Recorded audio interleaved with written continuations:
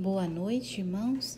Vamos nos unindo para a realização das vibrações coletivas pelo bem universal. Vamos estudar o Evangelho segundo o Espiritismo, o capítulo 7, item 11, o orgulho e a humildade. O item, ele nos esclarece sobre o orgulho e a humildade.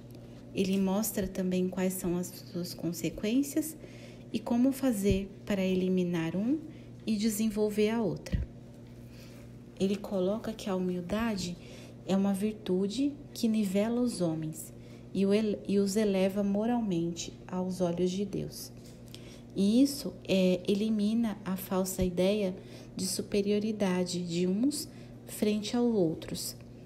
E também propicia, a humildade, ela propicia o progresso espiritual e que nos aproxima mais de Deus.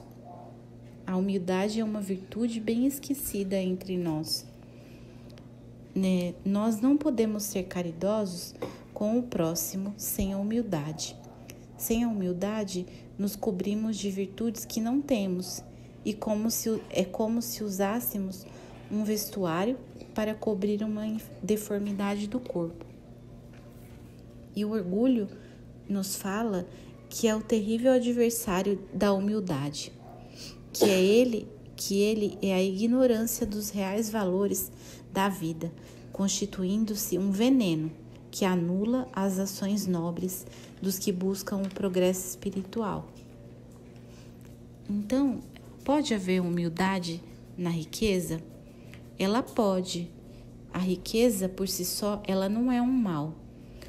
É, ela torna-se boa ou ruim conforme a utilidade que, que a gente dá para ela. O importante é que não, não inspire orgulho e nem cause também obstáculo para o desenvolvimento moral. O orgulho, ele é, o item fala, o item fala que o orgulho ele tem consequências muito graves. Ele traz transtorno na vida social da pessoa, rivalidade das classes e dos povos. Ele gera intriga, ódio e até guerra. E é uma imperfeição que bloqueia o nosso progresso, o progresso do espírito, e leva o espírito a assumir débitos que os resgates eles são dolorosos e ele muitas das vezes ele transcende a encarnação presente. Então, o orgulho, ele tem coberto de sangue e ruínas esse mundo. E é ainda ele que origina os nossos padecimentos do além-túmulo. Então, como o item fala, na, mensa na mensagem fala, o remédio para tudo isso é o Evangelho, a, a, a leitura do Evangelho e a prática do Evangelho, porque ele nos orienta e desenvolve nossa moral, ele nos ajuda e ele nos mostra como fazer esse desenvolvimento. O Evangelho é um roteiro de luz ele ilumina as criaturas de boa vontade. E assim concluímos as vibrações das 22 horas. Agradecemos a Deus, a Jesus, por mais uma oportunidade de aprendizado e com muito amor, vamos vibrando muito amor pelo bem universal, vamos vibrando muita luz, muita paz por todo o planeta Terra, vamos vibrando por todos os governantes de todos os países.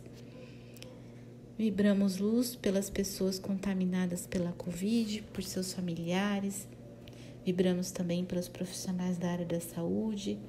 Vibramos pelos asilos, creches, orfanatos, hospitais.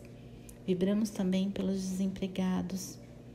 Vibramos também pela expansão do Evangelho e pela confraternização de todas as religiões em torno do amor. Vibramos também pelo nosso lar, pelos nossos familiares e também por nós mesmos. E deixamos uma vibração em aberto para que a espiritualidade leve aonde mais houver necessidade. E agradecidos dizemos: Pai nosso que estás no céu, santificado seja o teu nome. Venha a nós o teu reino, seja feita a tua vontade, assim na terra como em todo o universo. O pão nosso de cada dia dá-nos hoje. Perdoe as nossas ofensas, assim como nós perdoamos a quem nos tem ofendido.